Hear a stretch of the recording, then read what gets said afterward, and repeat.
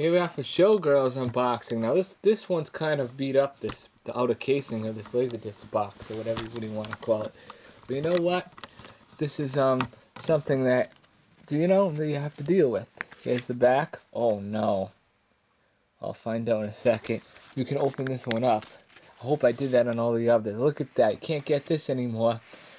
This perfect Laserdisc art and all stuff on the box you cannot get with a Blu-ray, a DVD, or anything like that. I like this more than I do steelbooks. And um, it's got 36 chapters. That's pretty cool, isn't it?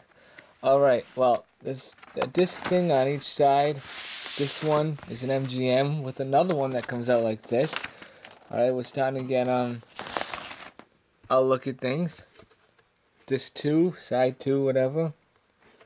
Actually, I kind of think these are ugly. The ugliest looking label you could put on a disc. Uh, I don't understand. It's a little muff scuffed up over there. Um, they could have had the idea of putting something more.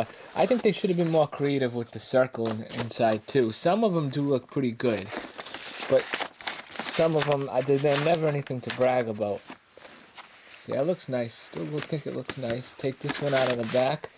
Now, it's only three sides. The other one's a non-program side. They always do that when they have to put it on a third platter. So I, I, I still look at it though.